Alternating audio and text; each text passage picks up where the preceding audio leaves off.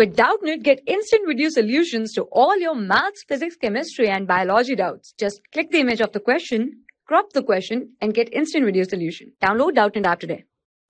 Hello everyone, here we have question given that in figure PS is equals to QR and angle SPQ is equals to angle RQP.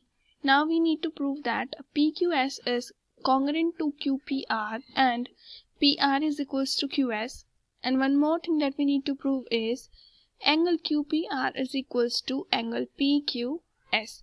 So coming to the solution, as we have given this figure with points P, Q, R and S. So taking the two triangles, the first one is QPR and then next one is SPQ.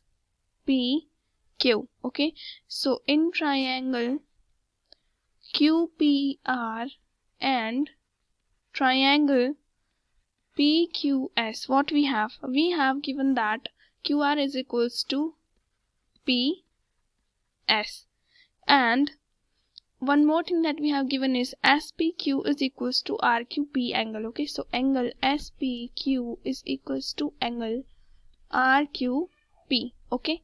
Now we have PQ is equals to PQ which is the common side. So using the common side.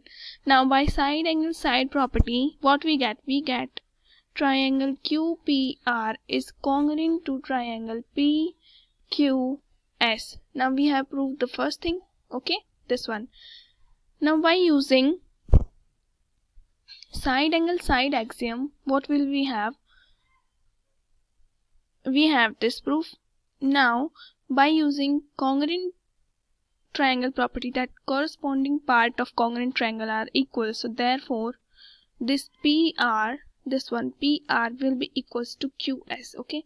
So PR will be equals to QS using CPCT that is corresponding part of congruent triangle.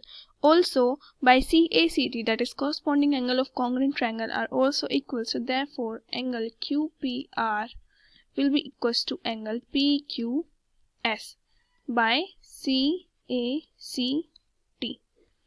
Hence, we have proved all the three things asked in the question. That is the desired answer for the given question. For class 6 to 12, IIT JEE and NEET level. Trusted by more than 5 crore students. Download Doubtnut app today.